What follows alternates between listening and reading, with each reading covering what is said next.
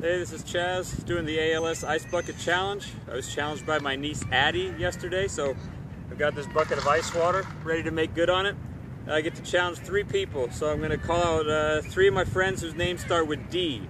Uh, David Thompson, uh, longtime friend and collaborator on 88 Nights. My friend Dontay Kidd, aka Taydoe of Taydoe TV, and more importantly, my softball team. And Dylan Stafford, a buddy of mine and associate dean at the Anderson School at UCLA.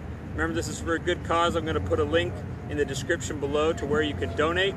Guys, you have 24 hours to do the Ice Bucket Challenge or donate to ALS or do both. That's preferable. So here we go.